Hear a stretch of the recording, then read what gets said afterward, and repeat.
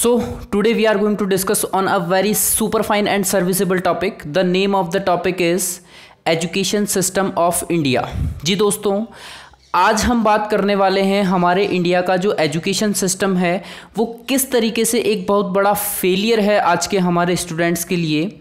उसी के बारे में हम बात करेंगे। तो स्वागत है दोस्तों मैं हूँ नरेश तादीच वंदे मातरम जय हिंद जय भारत। कैसे हैं आप सब लोग?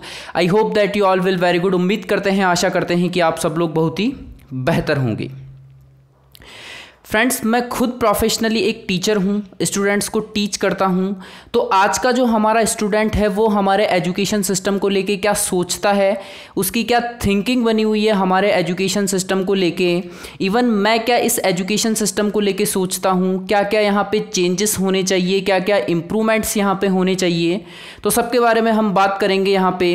क्योंकि फ्रेंड्स देखो, मैंने इस चीज़ को फील किया है क्योंकि मेरा स्टूडेंट्स जो है, जिन्हें मैं पढ़ाता हूँ या मैं जिन्हें पढ़ा चुका हूँ, उनसे मेरा बिल्कुल हार्ट टू हार्ट कनेक्शन बना हुआ है।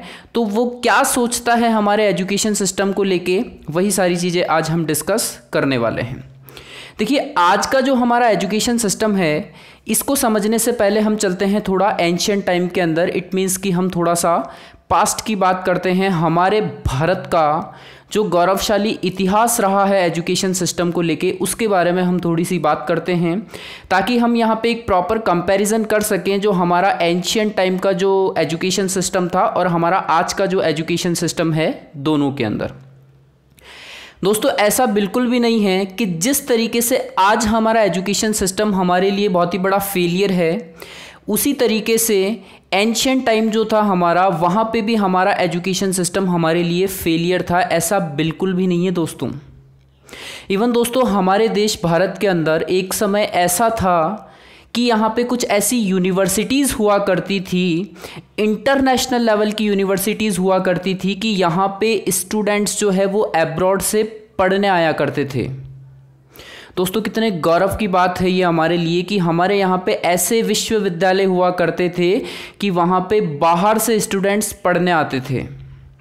इसी सीरीज़ में अगर हम बात करें तो सबसे पहले आता है हमारा नालंदा विश्वविद्यालय, नालंदा यूनिवर्सिटी जो कि हमारा बिहार स्टेट है। उसकी पटना सिटी से 95 किलोमीटर फार है।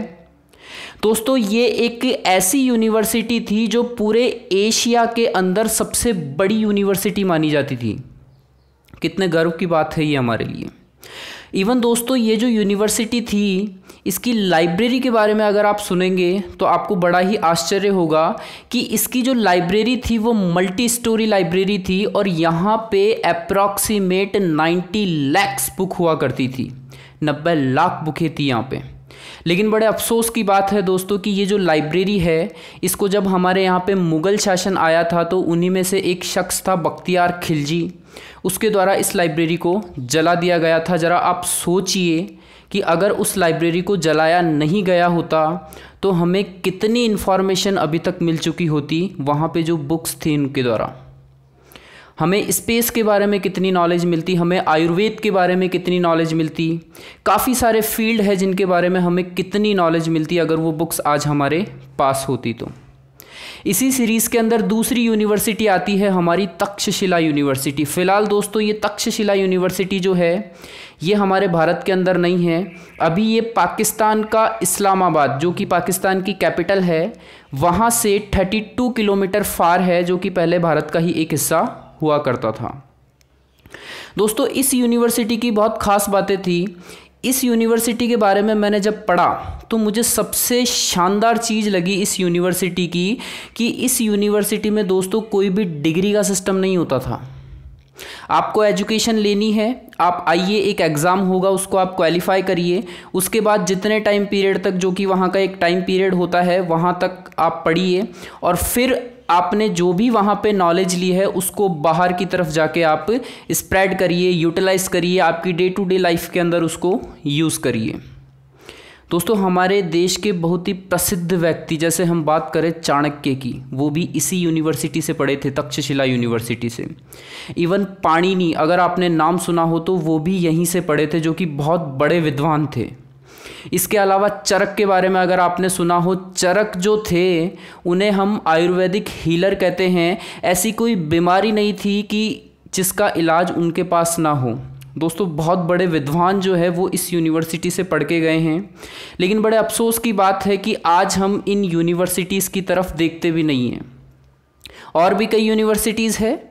जैसे हम बात करें, एक वल्लभी यूनिवर्सिटी है जो कि गुजरात के अंदर है। है ना?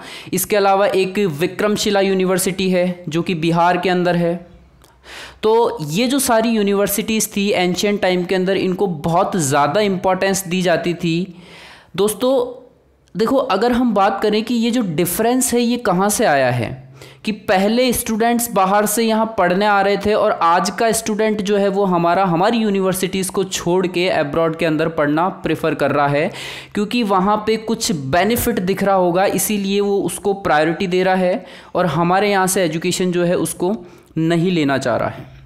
देखिए, अब हम डिफरेंस करते हैं कि आखिर वो क्या डिफरेंसेस है जिनकी वजह से हमारी जो यूनिवर्सिटी है दोस्तों, एक बहुत ही कड़वी सच्चाई है कि हमारे देश की जो यूनिवर्सिटीज़ है, इनमें से एक भी यूनिवर्सिटी फ़िलहाल ऐसी नहीं है जो कि टॉप हंड्रेड वर्ल्ड के अंदर आती हो। मतलब वर्ल्ड के अंदर टॉप हंड्रेड जो यूनिवर्सिटीज़ है, उनके अंदर हमारे देश की एक भी यूनिवर्सिटी नहीं है दोस्तों।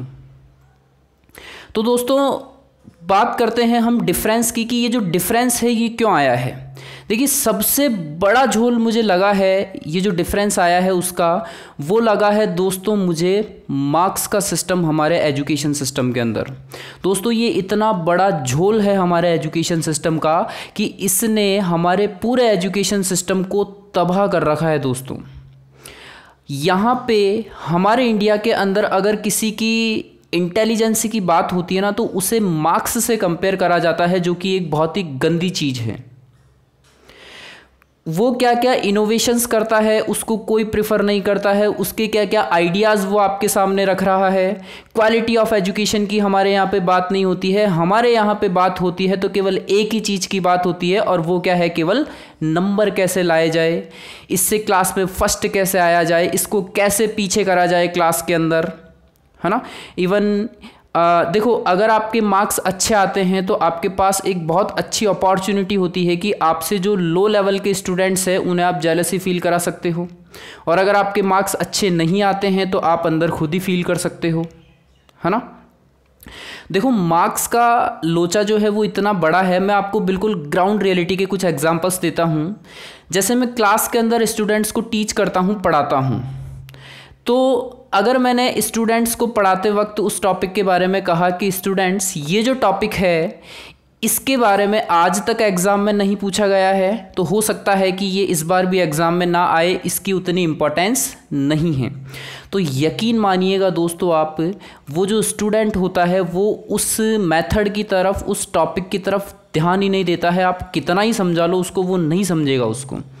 क्योंकि उसको पता है, ये एग्ज़ाम में नहीं आएगा, मुझे नहीं लिखना है और मुझे मार्क्स भी नहीं मिलेंगे तो वो उसे नहीं पढ़ता है। मैथमेटिक्स पढ़ाता हूँ। दो मेथड मैंने कराए उनको।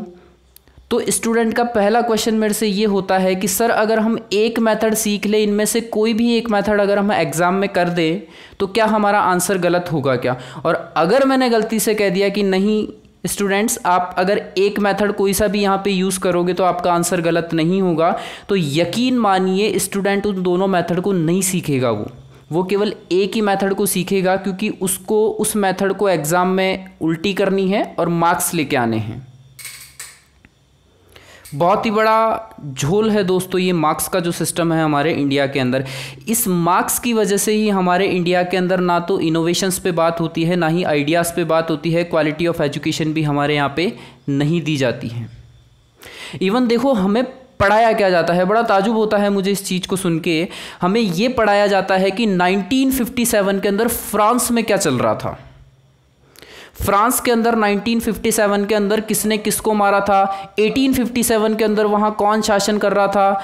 और किसने कौन सा वॉर जीता था? अरे भाई, करूँ क्या इन सब का मैं?